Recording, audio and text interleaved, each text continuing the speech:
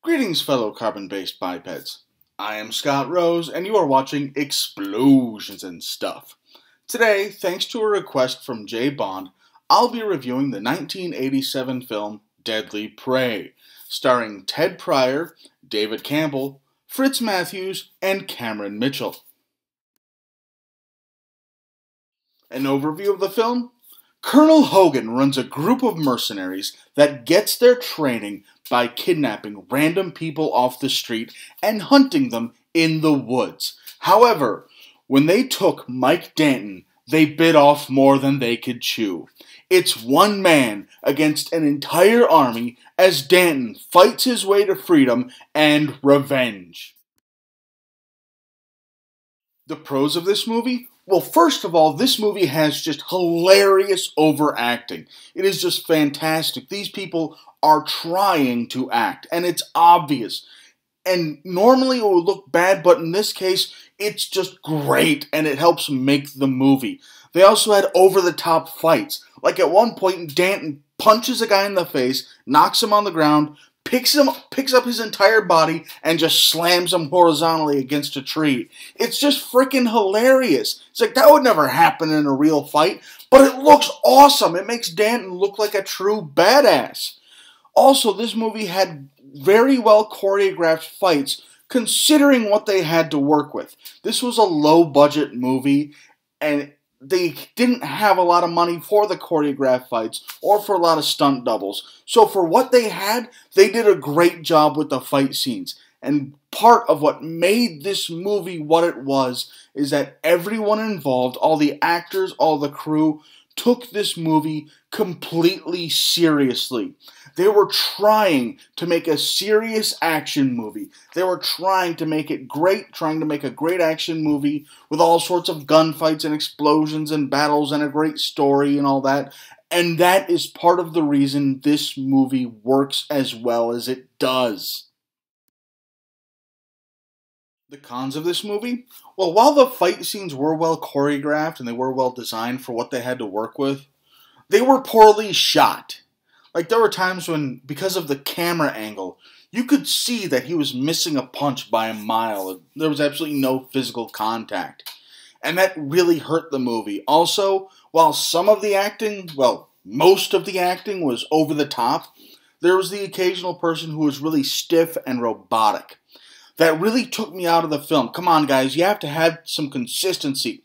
If most of the guys are going to be over the top, then have all of the guys be over the top. Really push that over the topness. And I get they're trying to make it serious. They're trying to do a serious film.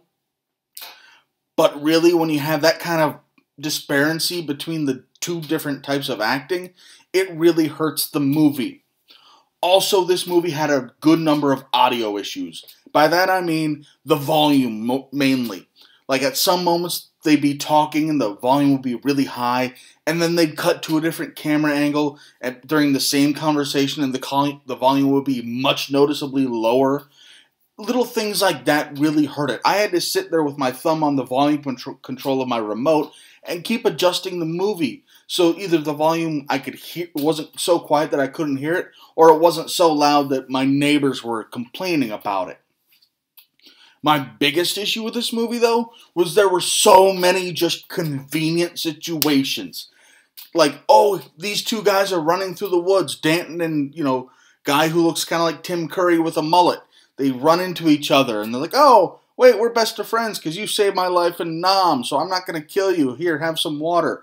Why did they run, run into each other? Because the plot needed them to. No other reason, just plot. Also, at one point, Danton's running along this ridge and there's this one random pile of boulders that's just conveniently there where there's no other rocks. And there just happens to be a bunch of the mercenary guys down at the bottom of that hill in complete path of those boulders, conveniently just being there. So Mike Danton just runs up and conveniently pushes these convenient boulders down, and it just plows over all plows over all those convenient little mercenary guys way too much convenience in this movie. Seriously, it's like, ooh, we need the, these things to happen to the plot. So here, have some convenient rocks and some convenient sticks and some convenient traps and convenient people. Way too much convenience in this movie. My favorite action scene in the movie? Mike Danton cuts off a guy's arm and beats him to death with the wet end of it. I don't think I really need to explain it any further than that. My overall thoughts on the movie? First of all, I think a good alternative title for this movie would have been Muscular Men with Mullets, because every single main character was a really buff guy in either a tank top, a t shirt, or no shirt at all, and they had a long flowing mullet. That being said, this movie has a huge cult following, and it's very easy to see why. I give it two thumbs up. Yeah, this movie has its flaws, but that's why it's great. This is a so bad it's good type of movie, and I don't know anyone who's watched this movie and not been entertained by it.